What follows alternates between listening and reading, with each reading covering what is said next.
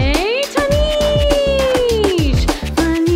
Cumpleaños, Tanish. Yeah. One happy birthday dot com.